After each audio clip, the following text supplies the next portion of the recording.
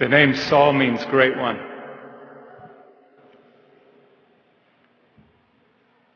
The name Paul means little one. While making this film, I learned that by changing one little, one tiny letter, that we can become great in the eyes of God. But it requires us to be little if we wish to be great. But this is the way of the saints. This is the way of the holy. And this is the way Saul became St. Paul. Callings come when we least expect them. I remember mine vividly. I had this experience. I was 19 years old sitting in a movie theater in my hometown of Mount Vernon, Washington.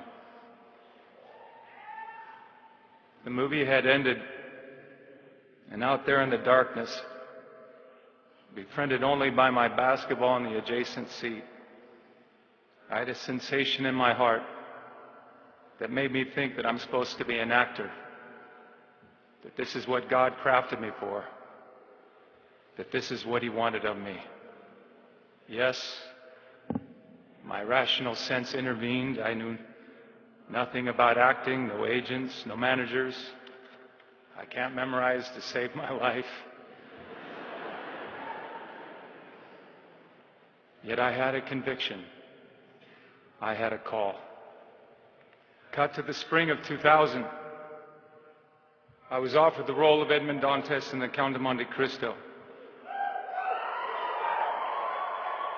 It was a new adaptation of the Dumas classic very stressful period. This is the first time I ever had to carry a film on my own, and here I was at what I long wanted to achieve, but I had no peace. Everything on that film was a battle. My character, Edmond Dantes, is unjustly imprisoned. While there, both in the book and in the film, he carves on the wall, God will give me justice with all the odds set against him, this one solitary man is committed to freeing himself and vanquishing evil, even the evil within himself. There is a wonderful scene between Edmond and a fellow prisoner, a priest, played by the great Richard Harris. In the pit of self pity, in a moment of real despair, while the priest is on the ground dying. He turns to Edmond and says, Your final lesson do not commit the crime you now serve the sentence for. Remember, God saith, Vengeance is mine. And I look down to him and say, But I don't believe in God. He says to me, It does not matter, Edmond. He believes in you. And he does. God loves each one of us personally, and He is there for us, even in our darkest moments of despair. After shooting Monte Cristo, I inexplicably get a call from Mel Gibson. My agent didn't call, my manager didn't call. I didn't know Mel Gibson. I wasn't politicking for the role because nobody knew it was happening. Mel Gibson wants me to play Jesus Christ. He wants the guy with the initials of JC, who just happens to be 33 years of age, to play Jesus Christ. Is that a coincidence? I don't think so. Is your life a coincidence? Or is it all just a chance? Some of you may be miserable right now, confused, uncertain of the future, hurting. This is not the time to back off or to give in. When I was up there on the cross, I learned that in his suffering was our redemption. Remember, the servant is no greater than the master. Each of us must carry our own cross. There is a price for our faith, for our freedoms. I have been literally scourged, hit by the whips, crucified, struck by lightning. Yes, open heart surgery. That's what happens after five and a half months of hypothermia. One day, during the shoot, my arm was wedged under that heavy beam when someone yanked it in the other direction. My muscles wrenched, my shoulder separated. I fell to, to the ground, dropped my head into the sand. This take now remains in the movie. In the later part of the film, Jesus experiences a shoulder separation. Well, I now know what that felt like. Every day I had to pick up that thing.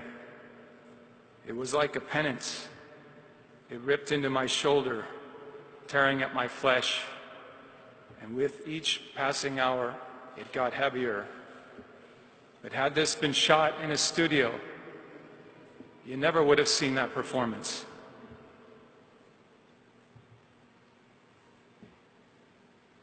The suffering made my performance. just as it makes our lives.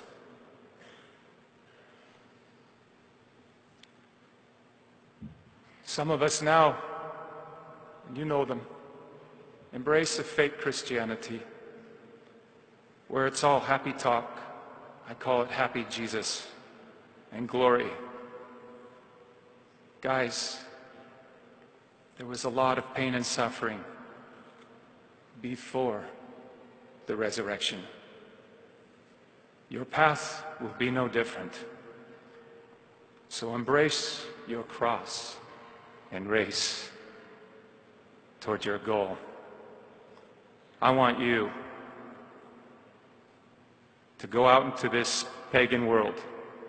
I want you to have the courage to step into this pagan world and shamelessly express your faith in public. The world needs proud warriors animated by their faith. Warriors like St. Paul and St. Luke, who risked their names, their reputations, to take their faith, their love for Jesus into the world. God is calling each one of us, each one of you, to do great things. But how often we fail to respond, dismissing it as some mental blurb it is time for our generation now to accept that call, the call of God urging all of us to give ourselves entirely to Him, to see that gentle hand guiding your path. But you first make, must make the commitment to start praying, to fast, to meditate on the Holy Scriptures and to take the holy sacraments seriously. For we are a culture now in decline. A people in danger of succumbing to our excesses. Our whole world is entrenched in sin. And there in the quiets of our hearts, God is calling out to us, each one of us, to give ourselves entirely to Him and how often we ignore him, ignore that sweet call. The great saint of Auschwitz, Saint Maximilian Kolbe, said that indifference is the greatest sin of the 20th century. Well, my brothers and sisters, it is the greatest sin of the 21st century as well. We must shake off this indifference, this destructive tolerance of evil that only our faith in the wisdom of Christ can save us. But it requires warriors ready to risk their reputations, their, their names, even our very lives, to stand for the truth. Set yourselves apart from this corrupt generation Be saints. You weren't made to fit in. You were born to stand out. For in our country now, we are only too happy to go with the flow. We have a shrine to freedom now where all choices are equal no matter what the consequences are. Do you honestly think this is true freedom? Pope John Paul the Great said, Democracy cannot be sustained without a shared commitment to certain moral truths about the human person and the human community. The basic question before a democratic society is this How ought we to live together? Seeking an answer to this question, can society exclude moral truth and moral reasoning?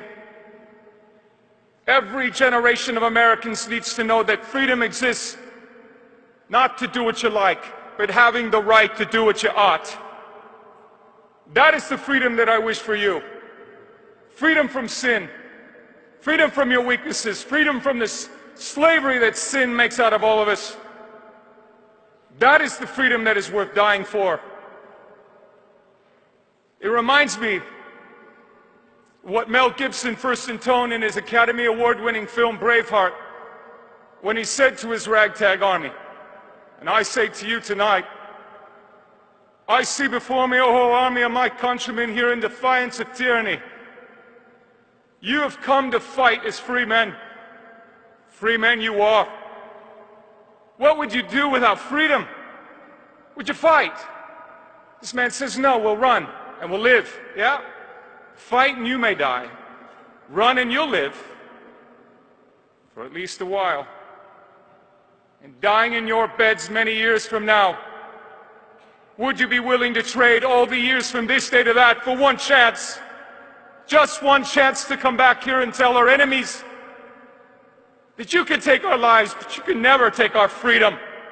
Every man dies. Not every man truly lives. You, you, you, we all must fight for that authentic freedom and live, my friends. By God, we must live. And with the Holy Spirit as your shield and Christ as your sword, may you join St. Michael and all the angels in sending Lucifer and his henchmen straight right back to hell where they belong.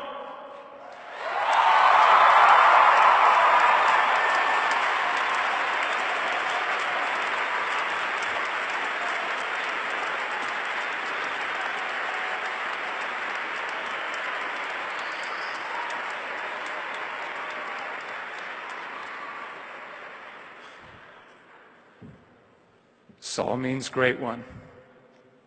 What does Paul mean? Little one. So if we wish to be great in the eyes of God, what do we need to be little? What do we need to be? Sorry. Little. May God love you and keep you and guide you all the days of your life. And I don't see you here. I can't wait to see you in heaven. I love you. God bless you. Fight hard.